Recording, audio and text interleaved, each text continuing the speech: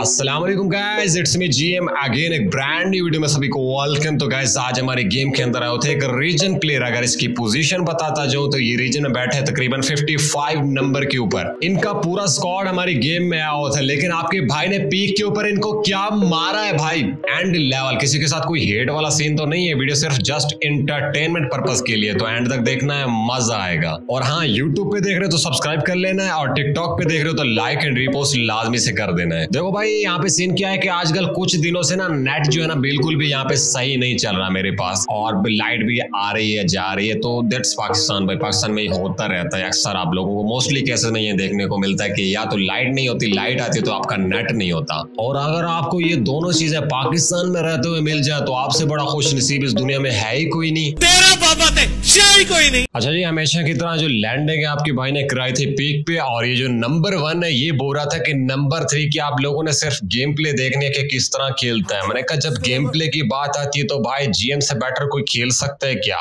तो उसने बोला रियल वाले टिकटॉकर मैंने कहा यस एकदम असली असली बिल्कुल असली। असली असली।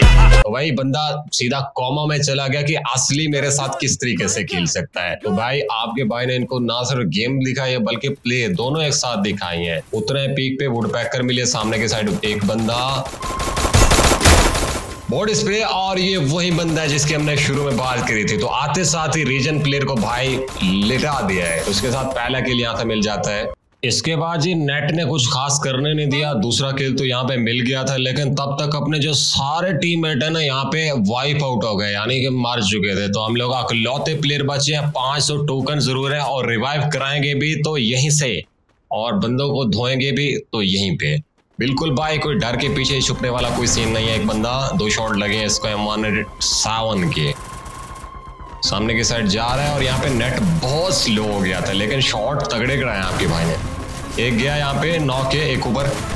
वो भी गया, दो ही शॉट लगे हैं। चलो जी लेजेंड का यहाँ पे किल कंफर्म करते, तीन डन हो चुके हैं और इस साइड पे एक और है अरे, खतरनाक प्लेयर और ये खतरनाक शॉट लगा है भाई। जिस तरीके का खतरनाक प्लेयर आएगा, उस तरीके का, उस टाइप का खतरनाक शॉट लगेगा उसको। इसकी तरह हमारे जो किल्स की तादाद है, वो चार हो जाती है और अट्ठाईस प्लस बंदे अलाइव है। क्योंकि ये स्कॉड गेम है तो भाई एक मरता है तो तीन बंदे सबसे पहले उसको रिवाइव करा देते हैं। तो एंड जोन तक आप लोगों को तीस से पैंतीस बंदे देखने को मिलेंगे लास्ट जोन में। और यहाँ पे नेट के सस्ते नशे ज़रूर थे बट हम लोगों ने छः किल यहाँ पे डन कर लिए थे। और स्कॉड को करा दिया था रिवाइव इससे अच्छा स्कॉड दुनिया में एग्जिस्ट नहीं करता, जिस तरह का मेरे का स्कॉड है, मेरा स्कॉड है। क्योंकि भाई, इनके सस्ते नशे, अभी आप लोगों को मैं चेक कराता हूँ कि होता क्या है।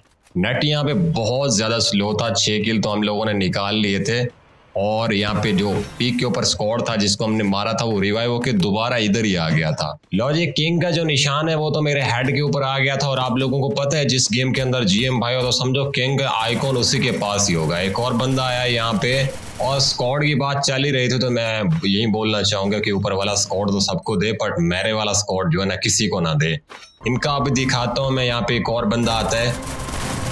ये बेचारा रिवेंज लेने आता है। ओनली हेडशॉट कराता हूँ इसको एम वन एटेड सेवन के और यहाँ पे अपना स्टीमेट चेक करो।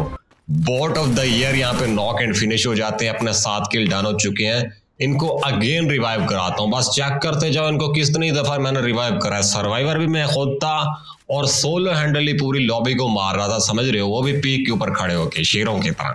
बट यहाँ पे थोड़ा सा नेट का ग्लिच होता है हमेशा की तरह, जो कि होता ही रहता है। क्योंकि आप पाकिस्तान में रहते हो तो आप लोगों को ये चीज़ें देखने को मिलती हैं। सामने की साइड जा रहा था, एक बंदा भाई छुप के बैठा था, उसने बूट पैकर से करा दिया था वन टैप अब मेरे स्कॉड की जगह कोई भी स्कॉड होता इवन अगर बोटा का स्कॉड भी होता तो उन्होंने सबसे पहले मुझे रिवाइव कराना था।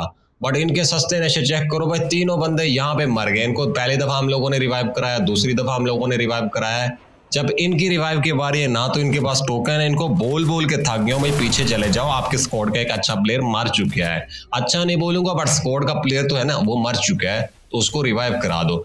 ना तो इन लोगों से कोई बंदा मर रहा है और ना इन लोगों ने रिवाइव कराया तो क्या गुंडा बनेगा भाई? इस स्कॉड के साथ बंदा क्या ही गेम खेले? ये देखो।